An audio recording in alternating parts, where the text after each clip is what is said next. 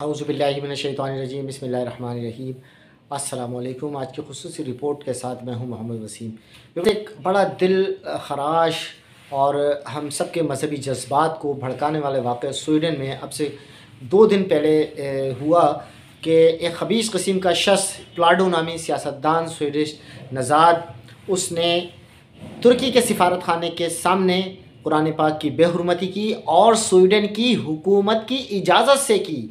ये इस पे आज तक, अभी तक हमारी तकरीबन तमाम इसलिए सत्तावन इस्लामी मुल्कों के सरबरान खामोश हैं। सिवाय तुर्की में ये वीडियो भी चल रही है, आप देख सकते हैं कि वहाँ मुजाहरे हो रहे हैं और ज़बरदस्त किस्म के मुजाहरे हो रहे हैं। वजह क्या थी? ये क्या हुआ? देखें फैसल मोहम्मद साहब का ने एक बारी बयान भी दिया जो फैसल अहमद, फैसल मोहम्मद साहब इंटरनेशनल मीडिएटर हैं, बड़ा नाम है उनका दुनिया में, मेडिएशन कराते हैं दुनिया में, मुल्कों की आपस के जो अख्तिलाफ़ात हैं, उनके मामला को डील करवाते हैं वो।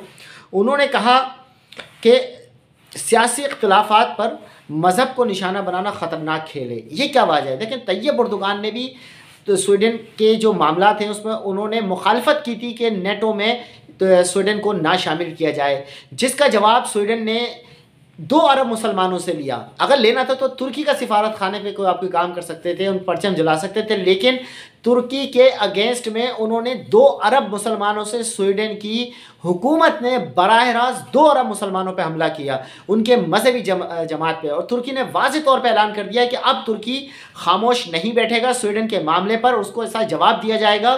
जो तैयब उर्दुगान साहब का बयान बड़ा ज़बरदस्त किस्म का है उनका ये लेटर भी चल रहा है जो उनकी फ़ॉरन ऑफ़िस ने जारी किया है।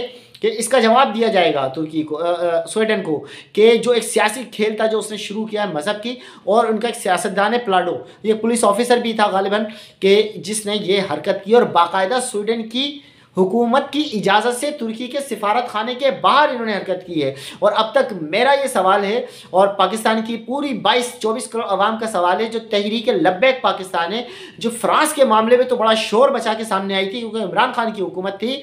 तो आज तहरीक लब्बैक के हमारे साथी, हमारे दोस्त, हमारे मेहरबान कहाँ गायब हैं?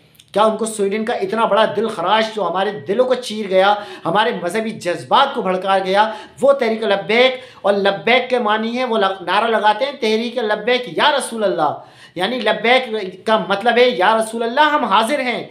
तो कहाँ है मेरे तहरीक लब्बैक के दोस्तों? आपके जो साथ साहब हैं, आपके हाफिज साथ साहब, वो कहाँ हैं? जब खादिम रिजवी साहब थे तो वो इस पर आवाज़ उठाते थे, आप कहाँ हैं? इस वक्त आपकी बड़ी ज़िम्मेदारी है, आप बड़ा नारा इसका लगाते हैं, अपने नारों का जवाब दीजिए। फ्रांस के मामले में आपने किया। शहबाज शरीफ फ्रांस के सदर से जाके गले मिल रहे हैं, आपका कोई एहतजाज नहीं आया। फ्रांस से आपको इमदाद मिली, आपका कोई जवाब नहीं आया। तो जनाब, कहाँ हैं आप?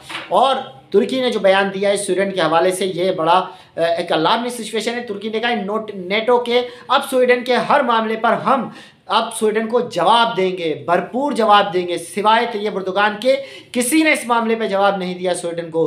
अब स्वीडन के लिए बड़े मामला ख़राब होंगे यूरोप के अंदर, क्योंकि तुर्की ने स्टैंड ले लिया है। किस वजह से? ज़ाती हैसियत में नहीं। सियाती अख्तिलाफ़ की बुनियाद पर ही उसने कहा तैयब उर्दुगान ने कि आपने मज़हब को इस्तेमाल किया है, आपने तोहन कुरान की है और आपने इजाज़त दी आपकी हुकूमत ने। तो ही ने कुरान करने की। इसलिए तैयब उर्दुगान को हमारा सलाम है। पाकिस्तान ही की नहीं, दो अरब मुसलमानों का सलाम है तैयब उर्दुगान को कि उस शख्स ने इस मामले पर तमाम मुसलमानों की नुमाइंदगी की, जो इस्लामोफोबिया के हवाले से इमरान खान था, उसको तो आपने निकाल के बाहर कर दिया। इस इम्पोर्टेड हुकूमत ने, अब इस इम्पोर्टेड हुकूमत का चेहरा, आप देखिए कैसा है वो।